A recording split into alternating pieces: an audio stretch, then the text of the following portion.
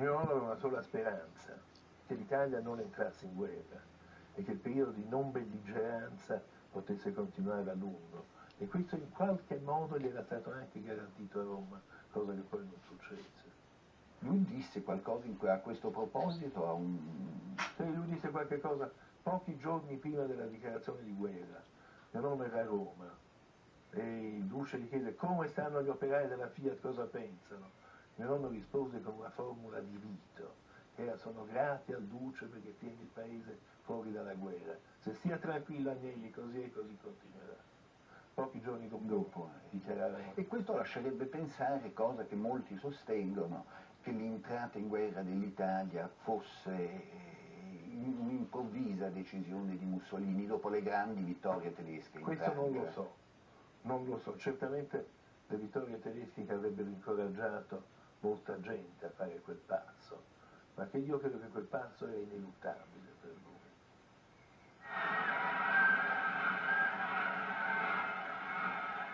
Ma in generale qual era l'atteggiamento in profondo di suo nonno verso il fascismo? Quando tu hai creato, stai creando, sei responsabile di una grossa industria in un paese, è ovvio che devi essere buoni rapporti con chi lo governa. Al voce dell'Italia fascista molto noi dobbiamo.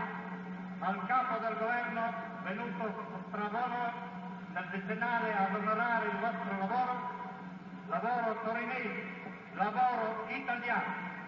Voi esprimete con l'imponenza stessa di questa vostra donata, con la schiettezza dell'animo vostro, la riconoscenza e la fedeltà di Torino, che anche quest'anno saprà meritare l'alto riconoscimento della sua opera assistenziale.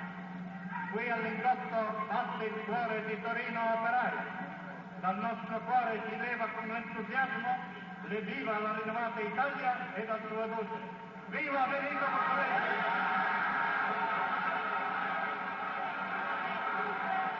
Il passato piemontese, la tradizione di disciplina militare, la tradizione sabauda. Se uno pensa il ruolo che ha giocato il Piemonte nella storia d'Italia, il ruolo di unificazione, è diventata capitale d'Italia per pochissimo tempo, poi l'ha passata a Firenze e poi a Roma, mentre si è trovata improvvisamente spogliata di ruolo di capitale politica e ha cercato delle nuove soluzioni e delle nuove strade L'industria è stata la strada che ha seguito.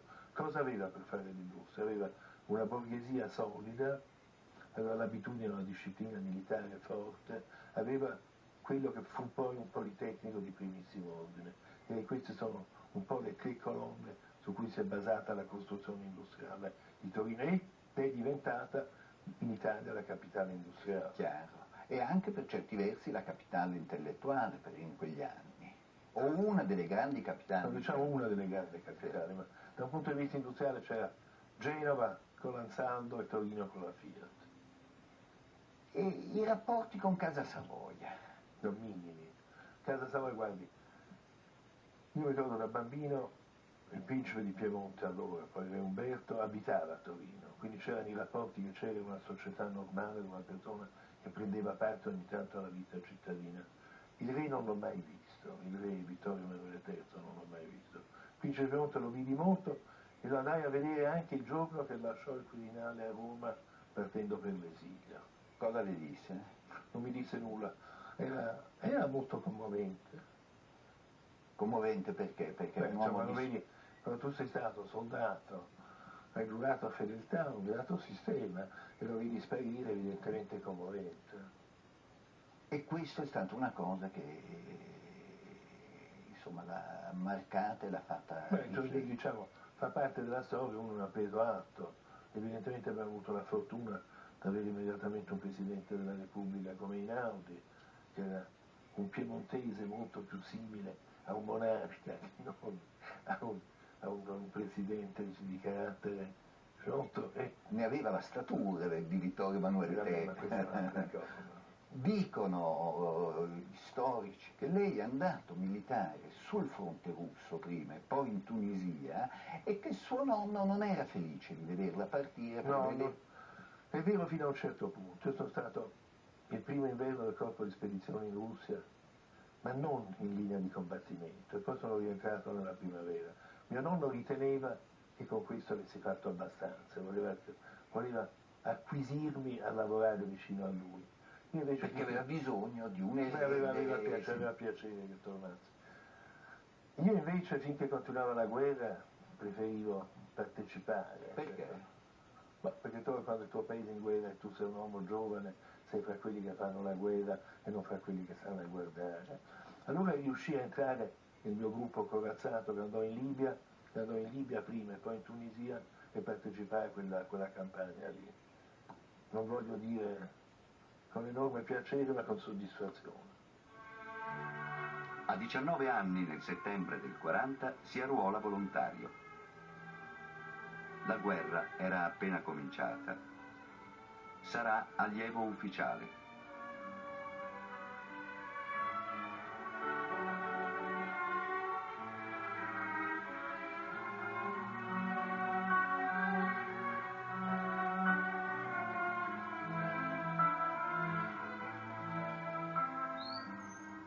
Parte per il fronte russo nel novembre del 1941.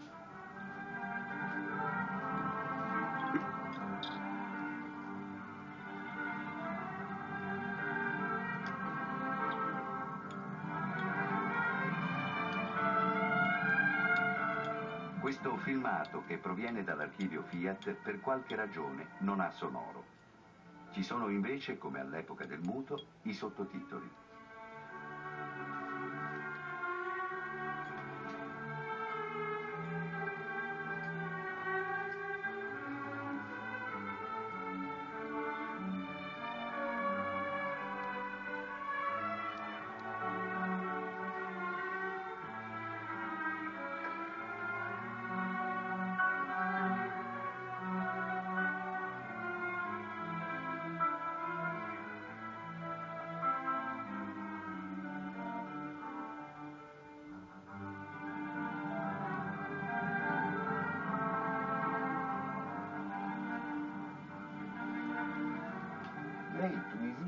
Stato decorato. Ci può raccontare com'è andato? Eh, guardi, io ho fatto il soldato per cinque anni. In questi cinque anni è successo di tutti i colori. Sono stato anche comandante di plotone di autoblindo in Africa, in Tunisia. Cosa faceva con questa eh, Naturalmente lì facevamo esplorazione, contatto con il nemico e combattimenti di questi contatti. E quando lei mi dice come mai è stato decorato, era in uno di questi combattimenti, ma è una cosa che mi rattrista anche ricordare perché è stato ammazzato il mio secondo pilota che fu ferito in questi combattimenti e poi morì in seguito alla ferita. Quindi le dico la verità che i ricordi di guerra li trovo tristi. Ecco, problemi, guerra giusta, guerra ingiusta, allora a quell'età non ce n'erano. Non esiste quando il tuo paese va in guerra, cioè 18-20 anni fai il soldato. Quindi poi dopo, dopo questo to, lei tornerà in Italia e dopo l'armistizio lascerà Torino. Se...